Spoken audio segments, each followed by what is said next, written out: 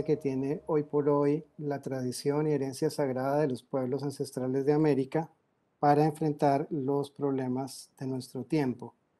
Y nos acompaña una nómina de lujo para este evento que enseguida voy a presentar y posteriormente voy a explicar eh, cuál es el mecanismo de la mesa. Tenemos a, eh, con nosotros a nuestro querido colega, profesor de la Universidad Pontificia Católica del Perú, profesor Augusto José Castro.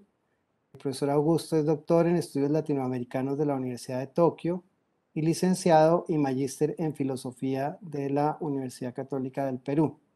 Es profesor principal en esa universidad en el Departamento de Ciencias Sociales, donde ha sido además director del Centro de Investigaciones Sociales, Económicas, Políticas y Antropológicas y del Instituto de Ciencias de la Naturaleza, Territorio y Energías Renovables.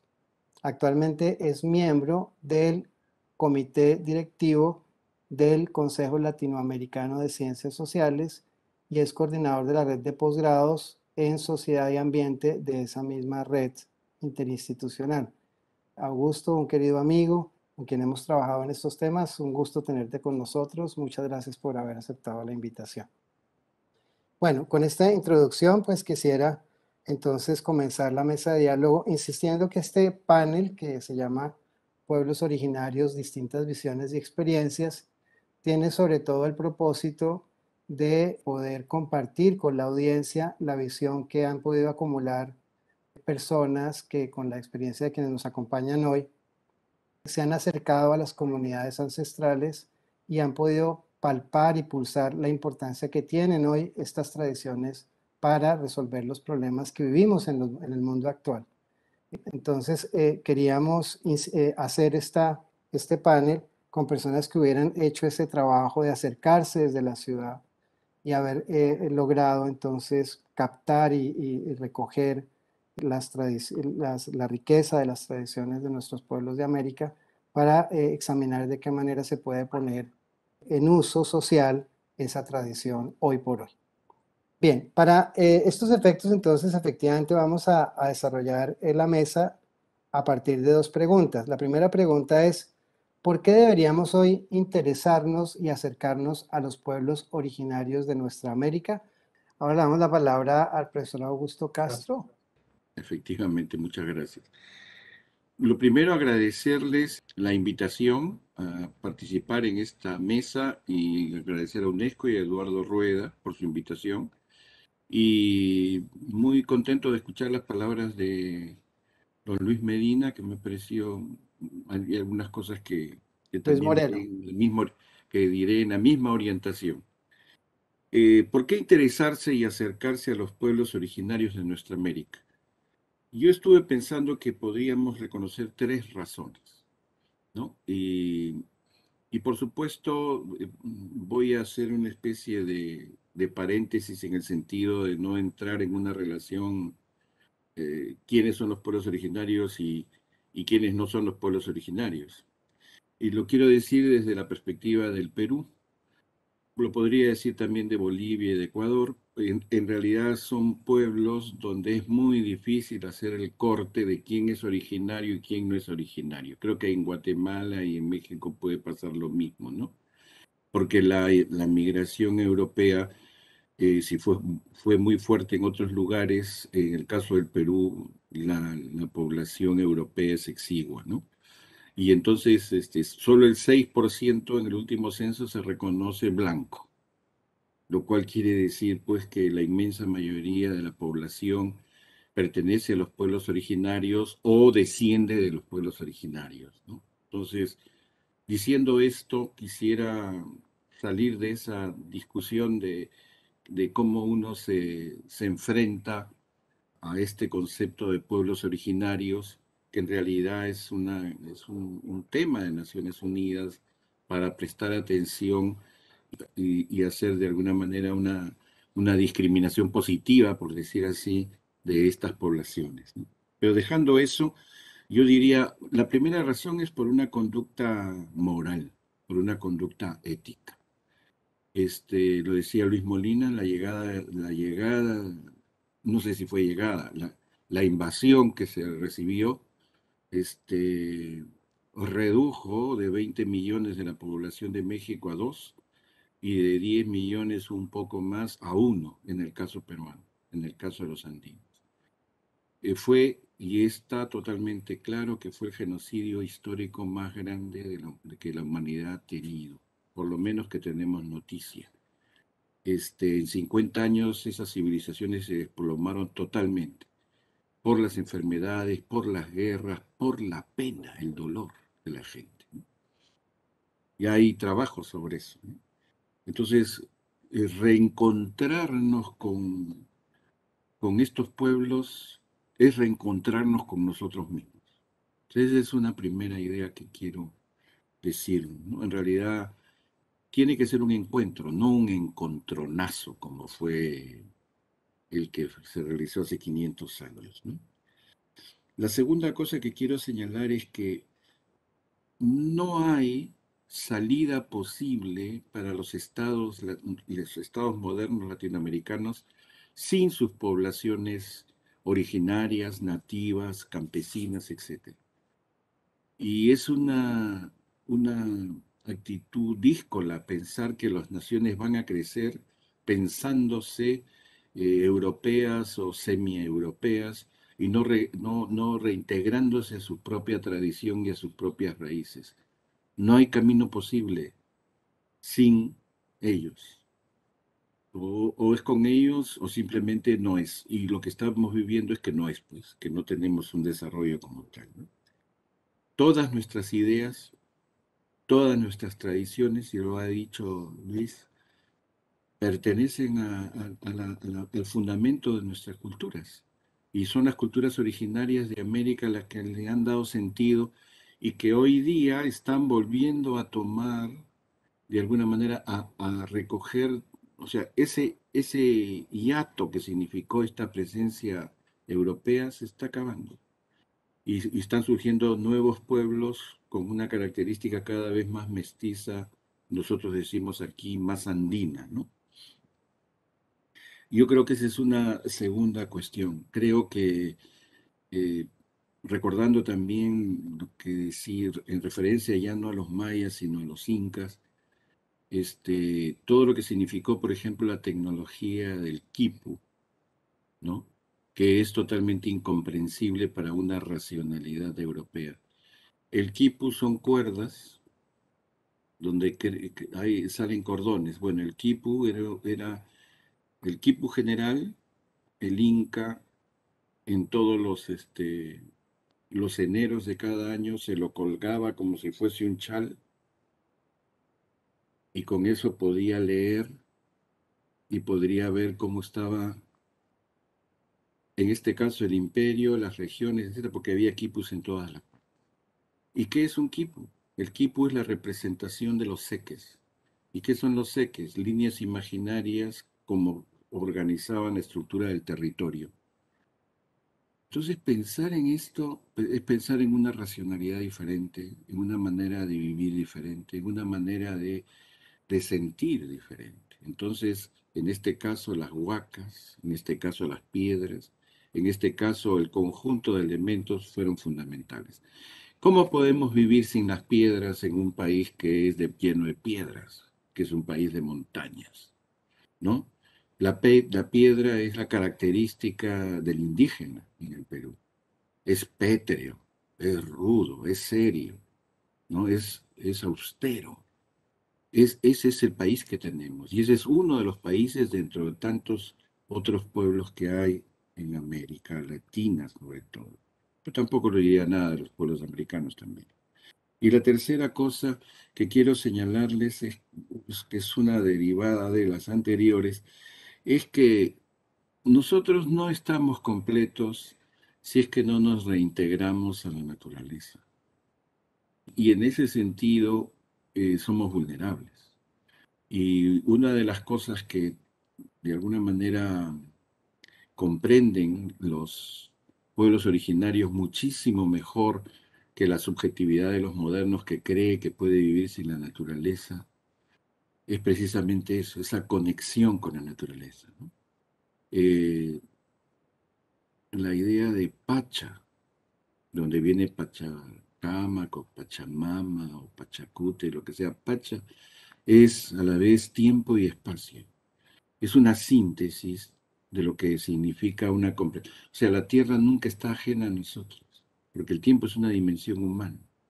Entonces uno siempre está involucrado con el tiempo y el espacio de, de nuestra realidad. Entonces, para la gente el tiempo no es lineal, es cíclico, para la gente el espacio es una proyección también subjetiva de ella, de las comunidades. Esos seques son una proyección precisamente de la mirada sobre el espacio, que la puedes tener en cordeles. Entonces yo creo que nosotros no hemos podido, pensando en la tradición hispana, que también es nuestra tradición, no hemos podido comprender el Perú. No hemos podido entender el mundo andino. Nunca hemos entendido que el nombre antiguo de Tahuantinsuyo significaba el país Tawa, cuatro, el país de las cuatro partes. Entonces era un país que, se, que no solamente era que tenía dos divisiones clásicas, tenía cuatro. Y las cuatro se articulaban entre sí.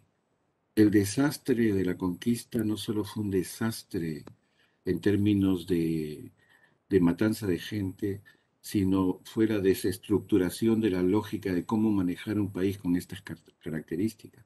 Entonces el llano, el medio, la altura, la quecho, la puna, la janca, nunca se, supo cómo, cómo se supo cómo articularlas. Yo creo que necesitamos reencontrarnos, necesitamos reentender lo que significa este mundo y para eso y para superar nuestra vulnerabilidad y la vulnerabilidad de todos, necesitamos ponernos de acuerdo. Y ponernos de acuerdo a ti, ponernos de acuerdo con el corazón, ponernos de acuerdo en general entre todos. Todos nos necesitamos, como dicen los filósofos actuales o las filósofos actuales, ¿no? La vulnerabilidad es nuestra condición natural. Y curiosamente, eso fue lo que permitió el desarrollo de todas las civilizaciones en América. Frente a esas debilidades, vulnerabilidades, necesidades y límites, surgió la comunidad, cosa que hoy día no tenemos. Muchas gracias, eh, Tito, por tu, por tu respuesta, por compartir tu reflexión. Muy bien, vamos entonces a abordar la segunda pregunta que quisiéramos eh, abordar a través de sus experiencias justamente. Y es cuáles han sido los aprendizajes más significativos que ustedes en su experiencia de vida han tenido eh, por el contacto con las tradiciones de nuestros pueblos originarios. Es un poco, esto es una pregunta muy vivencial para un poco contar cuál ha sido la experiencia de cada uno en esto. Bien, eh, ahora eh, tiene la palabra nuestro querido Augusto. Muchas gracias, muy interesante lo que estoy escuchando. Eh, bueno, yo tomé contacto de una manera abrupta con, con el mundo andino. Yo estudié en Lima, estuve en un colegio religioso de Lima y estudié eh, filosofía en la Universidad Católica. Eh, todo muy bien pero decidí pues, esas cosas que tienen los jóvenes, allá también en la época de los 70, 77 me acuerdo. Eh, me casé joven y nos fuimos a vivir a Puno, poco más al sur de Cusco, a las orillas del Titicaca. Y mi primera, mi primera experiencia fue que me había ido del país, o sea, ese era otro país la gente hablaba aymara, la gente se vestía de otra manera, la gente comía cosas distintas, pensaba de manera distinta, vivía de otra forma. Y, y, yo me sentí muy mal porque se supone que venía de una universidad que es una de las mejores del Perú y no me habían dicho que existía esto y después que no había que había que había una lengua que le hablaba en esa época 600, 700 mil personas y ahora es un poco más.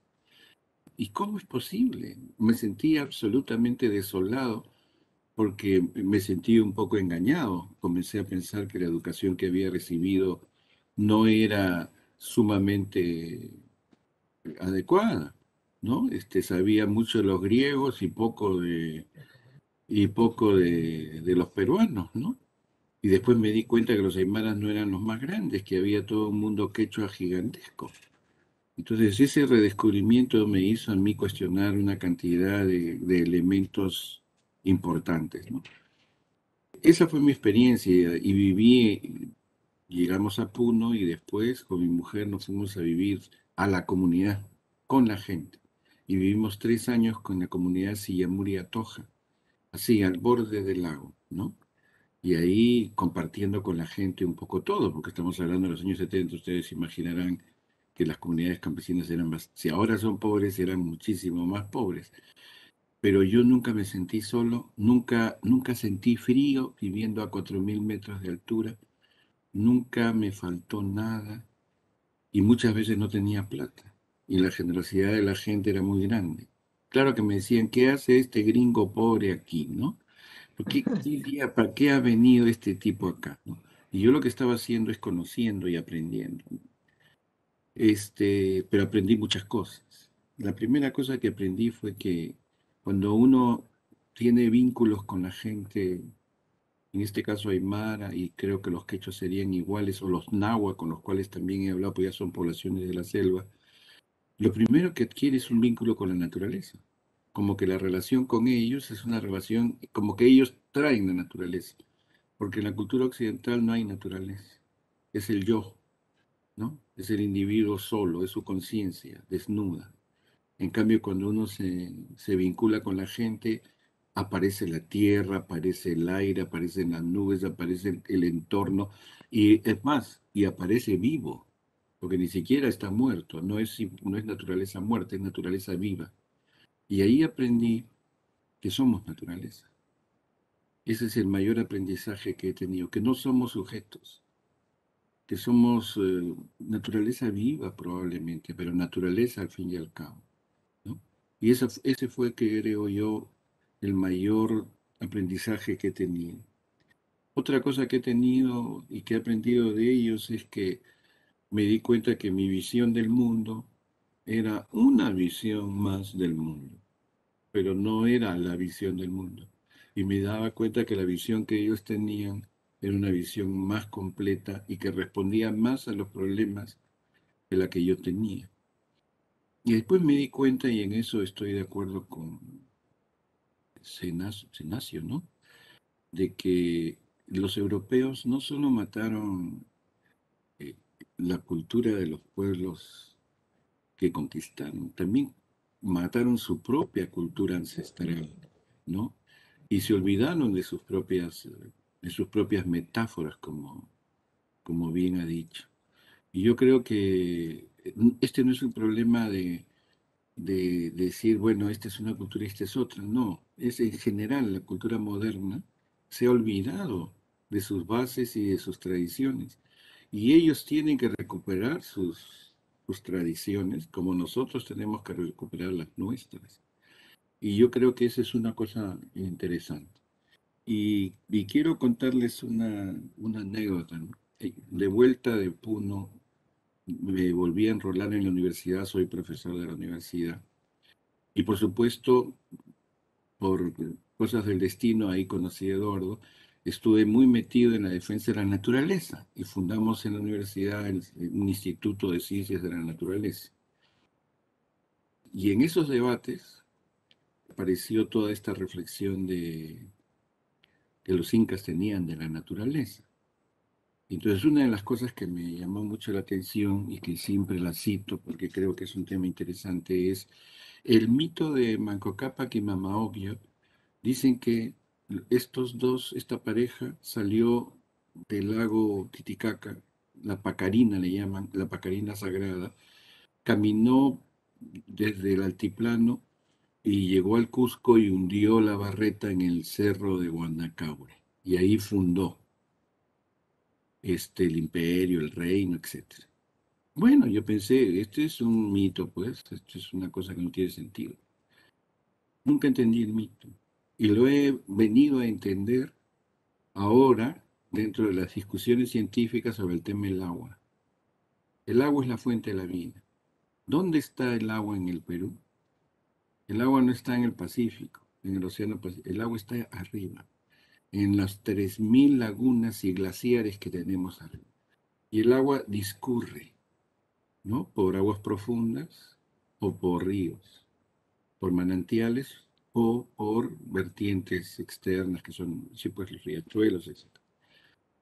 Esto del cambio climático ha llevado a que se pierdan la mitad de glaciares y se reduzcan las lagunas y se está perdiendo el agua.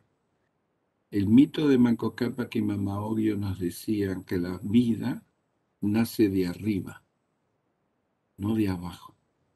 Nace de la laguna, nace de la laguna más grande como imagen. Y yo dije que hemos sido unos reverendos. ¿Dónde pusimos la ciudad?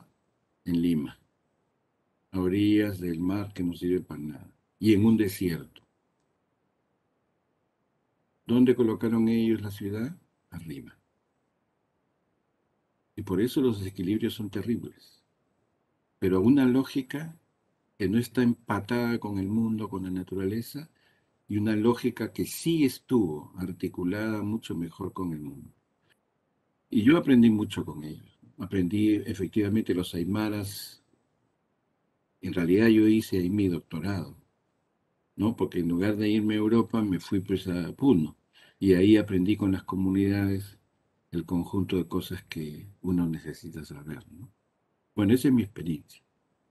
Muchas gracias, Tito, querido, muchas gracias. Yo quisiera, eh, sobre la base de lo que acabas tú de decir eh, recientemente, hacerles a todos una pregunta final aprovechando que hay muchos jóvenes que nos oyen, muchos jóvenes que se movilizan hoy por hoy en las Américas para defender y reivindicar las tradiciones de los pueblos originarios que encuentran en eso un recurso para inspirar sus luchas, para reinventar lo social, que es un poco el nombre que lleva este Congreso.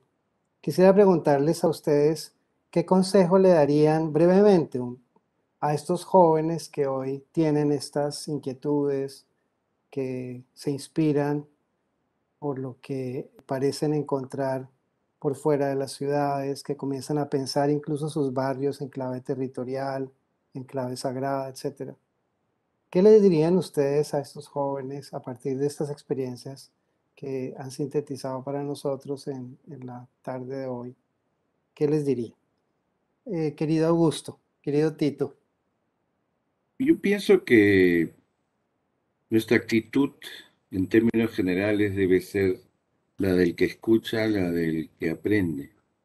Y para eso creo que tres principios pensaría yo, ¿no? Uno primero es el respeto irrestricto a todas las personas y a todas sus manifestaciones. Yo creo que eso es vital en un mundo como el nuestro, donde la gente no respeta, donde hay maltrato, donde hay discriminación, donde hay tantos problemas.